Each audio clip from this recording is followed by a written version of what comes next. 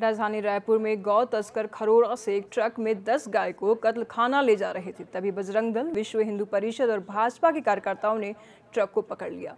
उसमें नौ गाय मरी हुई थी और एक गाय जीवित थी। कार्यकर्ताओं ने कड़ी मशक्कत के बाद गायों को नीचे उतारा और पुलिस को सूचना दी। ट्रक चालक और कंडक्टर को पुलिस ने गिरफ़्तार कर लिया है। वही भाजपा युवा मोर्चा के मंत्री प्रिंस सिंह परमार ने बताया कि छत्तीसगढ़ में बीते तीन सालों में गौ तस्कर बढ़ गई है। यहाँ से गायों की खुलेआम तस्करी महाराष्ट्र और हैदराबाद के लिए हो रही है। कई बार तस्करों को पकड़ा तो गया, लेकिन सख्त कार्रवाई नहीं होने से तस्करों के हौसले बुलंद होते जा रहे हैं। उन्होंने सीधे तौर पर राज्य सरकार को ही इसके लिए दोषी ठहराया है। इसमें सभी दुधारू गाय थी, जिनकी संख्या दस है और उनमें से मात्र एक जीवित है और नौ गौवंश की मृत्यु हो गई है, जो कि प्रेग्नेंट थी, जो कि पेट से थी। ऐसी नौ गौवंशों की हत्या कर दी गई है। लेकिन जो लगातार जो गौवंश तस्करी है, जो छत्तीसगढ़ में लगातार गौवंश तस्करी जो बढ़ती जा रही है इससे पूर्व में अभी कुछ दिन महीना दिन भी नहीं हुआ है। तीन गौ माताओं की जो निर्मम हत्या की गई थी, जो कि उल्ला थाना क्षेत्र का मामला है, इस पर भी कोई लगातार जो कार्रवाई है, पुलिस प्रशासन अपनी कार्रवाई कर रही है, लेकिन इन चीज़ों पे रोक नहीं लग रहा है। छत्तीसगढ़ सरकार जो बड़े बड़े जो वादे और बड़े बड़े जो होर्डिंग्स और जो पूरे देश, प्रदेश में जो फैला रही है कि हमने गौधन न्याय योजना, रोका छेका, इस प्रकार की जो बातें जो छत्तीसगढ़ सरकार और भूपेश सरकार की है, वो कहीं ना कहीं इन चीज़ों में आप देख रहे हैं, सामने है आपका ये ट्रक, इस पर विफल है। इस पर और जानकारी के लिए छत्तीसगढ़ से स्टेट एडिटर स्वरूप भट्टाचार्य इस वक्त हमारे साथ फ़ोन लाइन पर है। स्वरूप, आए दिन छत्तीसगढ़ में गौ तस्करी का मामला देखने को मिल रहा है। बीजेपी लगातार सरकार पर आरोप लगा रही है कि सरकार इस पर कोई कार्रवाई नहीं कर रही है। इस पर क्या कुछ कहेंगे आप? देखिए निशु जी, ये गौ तस्करी का जो मामला है, लगातार छत्तीसगढ़ में अभी फ़िलहाल देखा जा रहा है।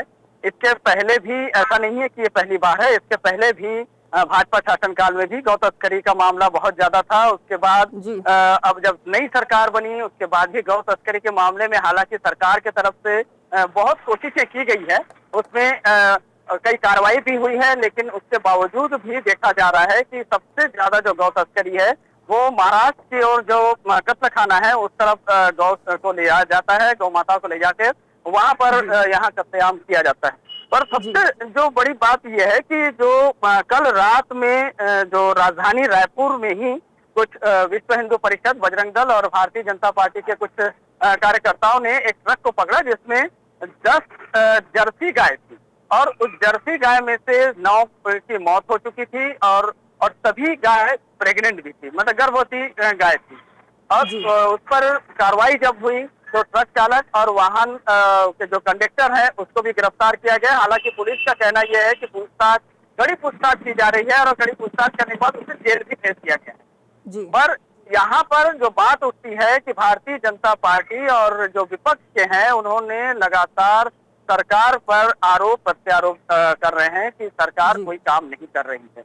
ये भी बात सच है कि यदि सरकार पर सवालिया निशान लग रहा है तो सरकार पर को इस पर विशेष तौर पर ध्यान देना होगा। जैसे कि दूसरे मामलों में मुख्यमंत्री भूपेश बघेल ने काफ़ी संज्ञान लिया है। यदि देखा जाए कि नार्कोटिक वाला जो नशाखोरी के मामला है उस पर भी का, काफ़ी कड़ाई की गई है तो इससे भी सरकार को बहुत ही कड़ाई से पेश आना पड़ेगा क्योंकि अब छत्तीसगढ़ की सरकार गौठान योजना गोबर गौ से जो खाद बन रहा है वो गोबर खरीदी गौ पालकों के लिए आय का साधन। इस तरह से बहुत सारे काम कर तो रही है लेकिन सबसे बड़ा जो बड़ी बात जो होती है कि गौ की रक्षा करना क्योंकि गौ की रक्षा जब तक नहीं होगी तब तक गोबर नहीं हो सकता। और गोबर नहीं होगा तो आय का स्रोत भी कम हो जाएगा।